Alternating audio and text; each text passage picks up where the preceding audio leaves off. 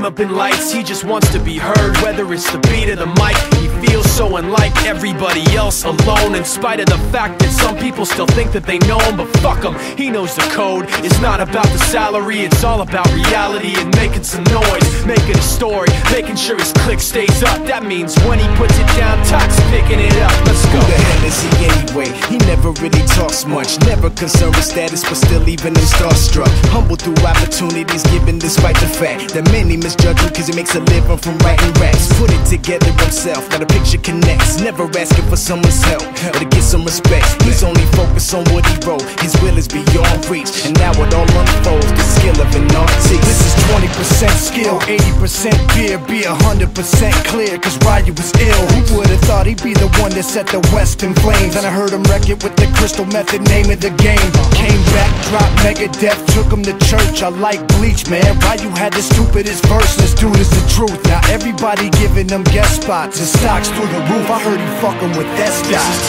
10% luck, 20% skill, 15% concentrated power of will,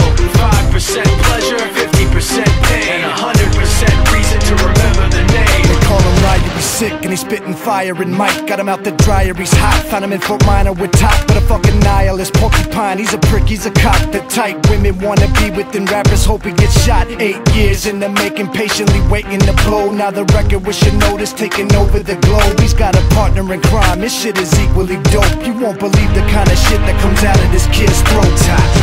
He's not your everyday on the block. He knows how to work with what he's got, making his way to the top. Often gets a comment on his name. People keep asking him, was it given that birth or does it stand for an acronym? No, he's living proof. Let him rock in the booth. He'll get you buzzing quicker than a shot of vodka with juice. Juice. Him and his crew are known around as one of the best. Dedicated to what they do and give 100%.